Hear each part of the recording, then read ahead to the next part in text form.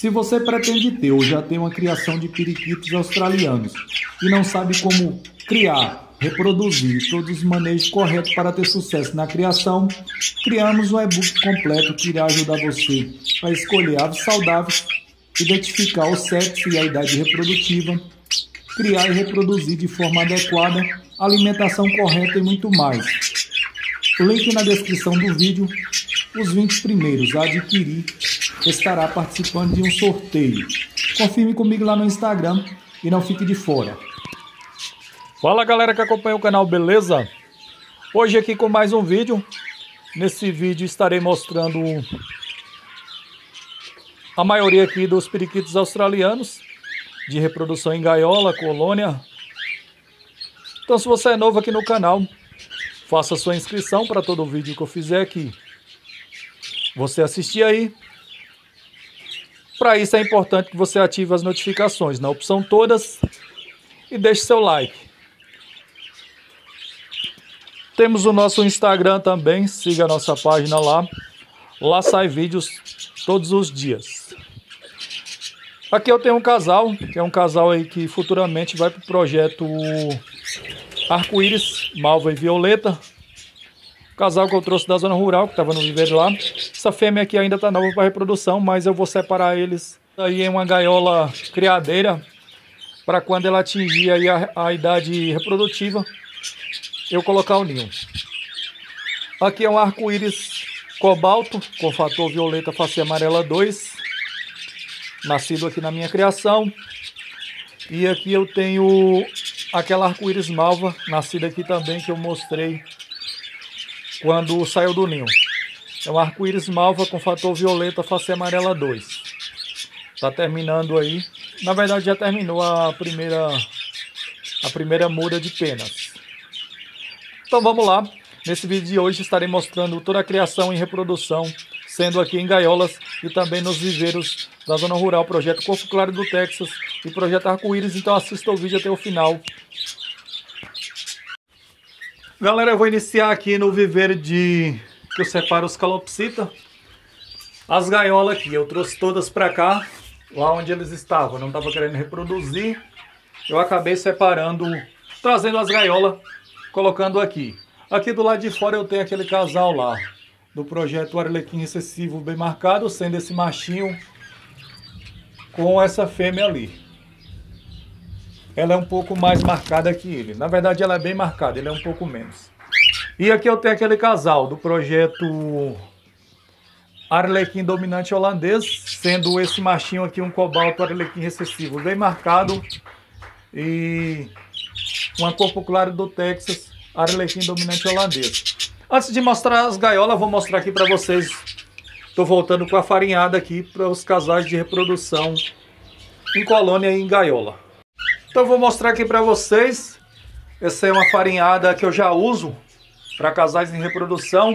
Fiquei um tempo sem pegar por conta de envio que estava às vezes até mais caro do que do que a própria farinhada.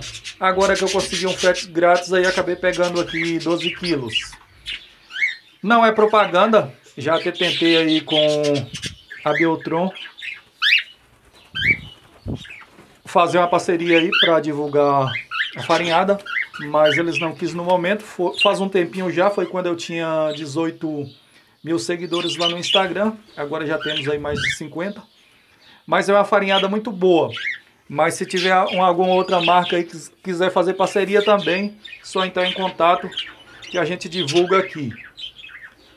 Então é a farinhada que eu já uso, eu tenho aqui 6 kg, já tem um pacote aberto aqui.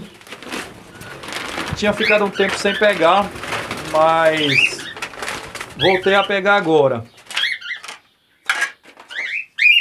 Eu uso aqui, não sei se algum de vocês usa aí, eu uso essas, esses potinhos de margarina.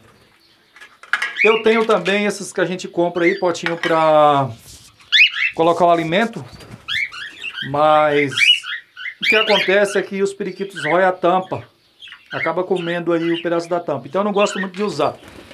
Então eu uso aqui de margarina. O pessoal deve achar que mais que pobre. Mas aqui se você usar um de margarina aí é muito bom com tampa, é claro, para evitar que o desperdício e também a sujeira dentro do, do comedouro, do potinho. O ideal é que você use uma tampa transparente para eles verem o alimento lá e faça um buraco aqui no meio como eu fiz. Então super indico aí para vocês esses potinhos de margarina. Eu não uso muito margarina aqui, mas todo potinho que eu acho eu vou recolhendo para usar. Ainda mais se for de tampa transparente para usar aqui com a farinhada. Então eu vou pegar aqui, vou, vou colocar um pouco aqui em cada um. Vou pegar aqui com a mão mesmo, para ficar mais fácil. Tem uma pazinha ali de pegar, mas vai dar um pouco de trabalho.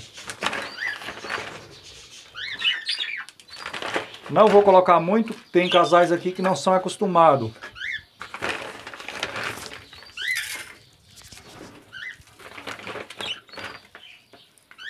Vou também oferecer lá no, no, no viveiro da zona rural. Então só vocês acompanhar o vídeo até o final. O bom desse, desse potinho de margarina é que a tampa também não sai fácil.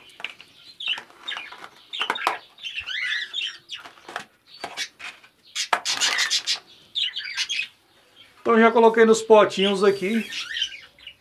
Já, já coloquei na gaiola aqui. Esse casal aqui, o macho não é muito acostumado, mas a fêmea gosta bastante. É normal aí que eles não vão aceitar agora, porque eles estão um tempo sem, sem oferecer a eles. Mas assim que um aceitar aí, o outro irá aceitar também. Se você vai usar pela primeira vez, o ideal é que você retire a comida aí por um tempo, porque senão dá um pouco de trabalho aí para eles aceitar. Os meus já estão acostumados, como vocês podem ver, aquela fêmea ali também. Como eu já ofereci para ela há muito tempo, olha lá, ela já está comendo ali. Aí aqui eu deixei o potinho de alimentação também, de sementes, mas o ideal é que você retire se você for oferecer pela primeira vez. E aqui para os calopsitos aqui tem só o, o mix de semente. Ele já escolheu aí o melhor no meio e deixou os outros. Então vamos lá. Aqui ficou assim, ó. Aquele casal ali da fêmea do projeto Rendado, que é uma fêmea malva com fator violeta, arlequim recessivo, face amarela 2, asas canela opalina. Com o machinho aqui que é filho dela, ele é um verde verde cinza opalino, portador de ine canela. Ela colocou aí três ovos, mas os ovos estavam vazios. Quer dizer, dois dos três ovos estavam vazios. Eu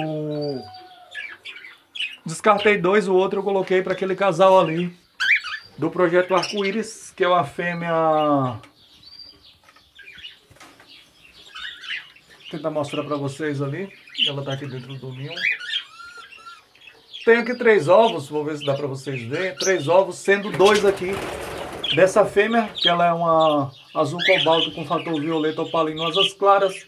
E o machinho, ele é um cobalto com fator violeta também, opalino fubore face amarela 2. Então, casal aí do projeto arco-íris. Então, como ela é uma fêmea bem experiente, que já tirei bastante arco-íris com ela, eu coloquei os ovos aí para ela chocar. Ela colocou quatro, mas dois dos dela estavam vazios. Eu descartei e deixei ela com três ovos. Aqui eu tenho outro casal do projeto Rendado também, sendo esse machinho aqui, irmão daquele outro lá do canto, do verde cinza. Ele é um azul cobalto com fator violeta opalino, face amarela 2, portador de hino e canela. Coloquei ele com a fêmea lutina aqui. Essa fêmea aqui, ela já vai colocar o primeiro ovo já. A cloaca dela tá bem baixo. Saiu ali. Então espero aí com algum desses dois casais conseguir o primeiro periquito rendado. E aqui, como eu disse para vocês no início, Aqui eu tenho o arlequim excessivo bem marcado. Ele não é opalino, é normal, não, ele é um opalino com a corpo claro do Texas aí, ela é uma normal arlequim dominante holandês e ele é um arlequim recessivo. Então projeto aí arlequim dominante holandês. E tem aqui o casal que eu mostrei no início que tá no início acasalando aí ela tá com a cloaca bem baixa também tá naquele ninho. E tem o... Vou ver se eu consigo mostrar para vocês aqui. Esse casal aqui que estava em gaiola do projeto cintilante duplo fator. Não estava querendo reproduzir, eu separei, soltei aqui no viveiro, eu tenho um ninho disponível aqui. Agora eu acredito que eles irão reproduzir. O macho é um corpo claro do Texas opalino, malva, cintilante, simples fator. E a fêmea, ela é uma lutina. Eu acredito aí por ela ser filha de uma cintilante, que por baixo da mutação hino tem a mutação cintilante. Então, só depois da reprodução aí para descobrir se ela é duplo fator ou não. E aqui eu tenho os calopsitas e vamos para o viveiro da zona rural agora mostrar para vocês a reprodução Projeto Arco-Íris e Corpo Claro do Texas e colocar lá também a farinhada. Já cheguei aqui, galera, trouxe a farinhada aí, os comedouros. Aqui no viveiro de reprodução em colônia da mutação corpo claro do Texas. Tá um pouco escuro aqui. Tive que acender a luz do viveiro. Desse lado aqui eu vou mostrar primeiro como tá um pouco escuro aí, depois eu mostro esse aqui. Esse lado o viveiro dos corpo claro do Texas. E esse lado aqui do projeto Arco-Íris. Sendo que aqui eu tenho arco-íris, asas claras opalinos e fubore. Tem uns filhotes aqui também que já saíram do ninho. Vou mostrar para vocês, aproveitar aí. Eu entrei aqui no viveiro, mostrar para vocês aqui o... aquela areia que eu usava no chão, eu tirei. Agora eu estou fazendo a limpeza aqui a cada dois dias e lavando uma vez na semana, lavando o fundo do viveiro aí. Depois eu falo o motivo, a hora que chega no outro viveiro ali, eu falo o motivo pelo qual eu não estou usando mais areia no fundo do viveiro. Aqui tem dois filhotes que saíram do ninho aqui. Lindos filhotes, mas não são arco-íris. Como foi um casal aí que os dois são portadores de diluído.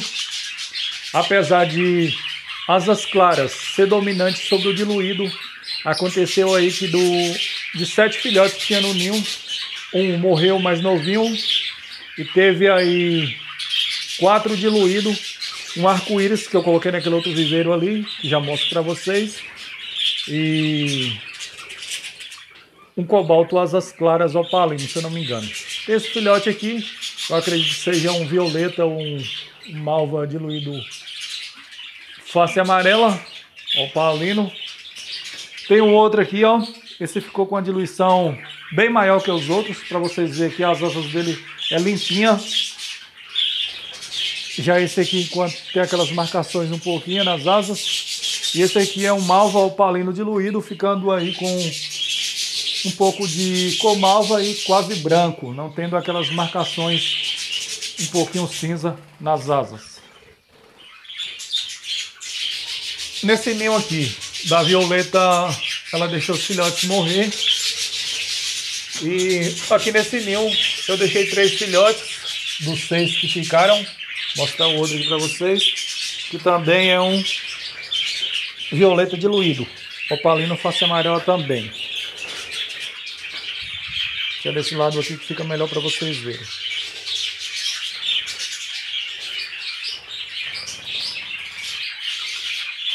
Como mostrei para vocês aí no início do vídeo, eu tirei aqui a arco-íris malva e o arco-íris cobalto violeta e levei para lá para colocar na gaiola, para fazer casal de gaiola. Nos outros ninhos aí eu não vou mostrar, tem apenas ovos. Foram os que começaram aí a postura por último, aquele ninho, esse aqui, esse essa aqui também, depois que deixou os filhotes morrer, já colocou os ovos aí, mas depois eu passo para outro. Dessa aqui tinha oito ovos, se eu não me engano, estava vazio. Não nasceram, mas já está com seis ovos novamente. E tem um outro aqui com cinco ovos. Então vamos lá, vou abrir, vou, vou colocar aqui para eles. Não sei se vão aceitar logo, nem todos aqui são acostumados com a farinhada. Abri aqui o pacote, tem um cheiro muito bom. Eu não vou encher, vou deixar só pela metade aqui. Colocar a tampa aqui rapidinho. Vou colocar ali para eles. Eu fui pendurar aqui, acabou que o comedor arrancou fundo e caiu no chão. Ainda bem que tá limpo aqui. Consegui pegar aí um pouco e coloquei aqui. Ainda tem essa grade que eu tinha preparado aqui antes. Vou deixar ali. Esses comedouros aí, o fundo deles não são muito bom. Encaixa, mas solta com facilidade. Pelo menos tem esses bebedouros aqui que é bem parecidos aí, mas esses bebedouros seguram um pouco mais desse lado do viveiro aqui. Não tem muitos no momento, mas sendo a maioria dos que tem aqui arco-íris. Então vamos lá. Vou no outro viveiro ali mostrar alguns filhotes e colocar farinhada lá para eles. Esses aqui, depois que eles estiverem mais à vontade aí, eles vêm aqui na farinhada. Espero que eles peguem esse aí que acabou caindo.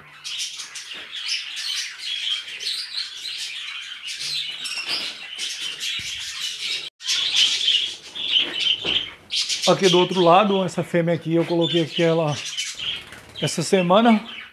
Tirei uma outra que estava aqui, estava dando trabalho, não queria reproduzir. Eu tirei e trouxe essa outra e mais dois machos. Um verde cinza e esse cinza ali, ó. Cinza de face amarela. E um verde cinza normal. Já chegou um aqui para dar as boas-vindas. Vou mostrar para vocês antes de colocar a farinhada aí. Esse lado aqui, antes eu mostrei alguns filhotes. A maioria daqueles filhotes morreram. Esse foi o motivo de eu ter tirado a areia do fundo. Os filhotes ficaram doentes e quando eu descobri, eles estavam pegando a areia em vez do, do mix de semente, que não estava tendo farinhada para oferecer aqui. Fui pegar agora. Em vez do mix de semente, eles estavam dando areia para os filhotes. Quando eu descobri, os filhotes já estavam doentes. Então, acabei perdendo a maioria dos filhotes, tirei a areia. Estou fazendo a limpeza aqui, como eu disse para vocês, a cada dois dias, a limpeza de chão e lavando uma vez por semana. Aqui ficou nesse ninho aqui mesmo, foi um que os pais estavam dando areia, ficou apenas um filhote, que é um corpo claro do Texas, azul celeste de face amarela. Tem dois ovos aqui no ninho, mas estão alimentando os filhotes ainda, mesmo com esses dois ovos aí. E aqui tem um filhote lá do outro ninho. Esse aqui, pelo jeito, é um arco-íris cobalto, está muito novo para saber. Não está muito visível aí porque aqui está um pouco escuro. Mas pela cena que está nascendo aí dele, é um arco-íris cobalto ou violeta. Face amarela 2. Que é daquele, irmão daqueles lá que saíram que eu mostrei o ninho. E também tem aqui um violeta. Asas claras opalino. Era sete filhotes. Um morreu mais novinho, morreu porque ficou embaixo dos outros. E infelizmente um outro mais novo também acabou caindo no chão. E foi bem no dia que eu tinha lavado. E aí foi durante a noite. Ele caiu no chão e aí eu acredito que ele morreu por causa do, do frio. O chão estava gelado. E eu acabei colocando os outros dois filhotes aqui porque a fêmea daqui só ficou com um. Tá o ninho aqui um pouquinho sujo. Eu vou fazer a limpeza do ninho aqui.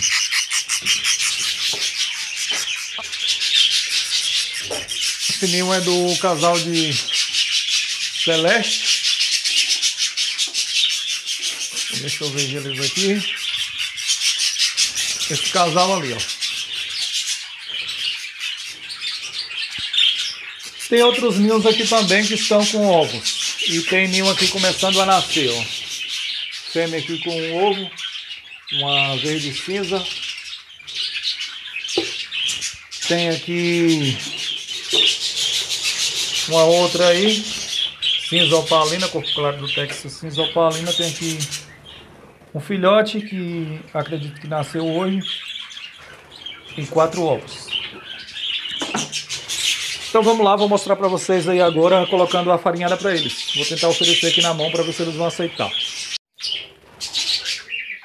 Já vieram aqui, pessoal, bem fácil aqui de oferecer alguma coisa para eles, que eles vêm rápido que como eles estão acostumados a ouvir na minha mão, então tudo que eu ofereço aqui, e eles vêm experimentar. Os corpos claros do Texas aqui não estão acostumados com farinhada, porque eu oferecia para os casais de gaiola e eu separava os casais de projeto arco-íris. Então, mas eu acredito aqui que eles vão acostumar bem rápido. Vou colocar aí, logo eles estão alimentando os filhotes.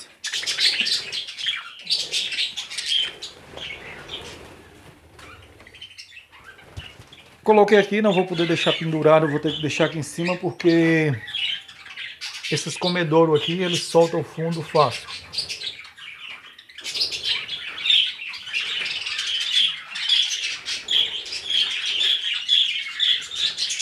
E é assim, colocou a mão aí já vem na curiosidade. Então é isso, a farinhada aqui que eu estou usando é a CC Parrots da Biotron. Não é propaganda, mas se a Biotron quiser mandar aí uma farinhada, uma extrusada pra gente, a gente faz uma divulgação aqui. Ou qualquer outra marca aí que queira patrocinar aqui, a gente dá um jeito.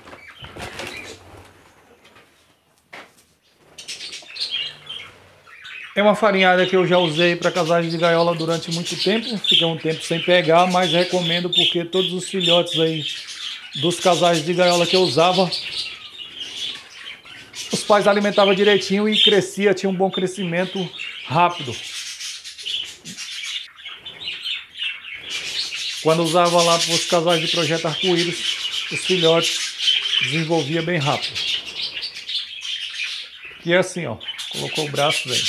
Então vou ficando por aqui, o vídeo não ficar muito grande aí. Depois eu faço uma atualização mostrando o ninho direitinho aqui, que o vídeo já ficou muito grande. E também mostrando os casais de gaiola do outro viveiro lá. Vou ficando por aqui. Até o próximo vídeo. Valeu!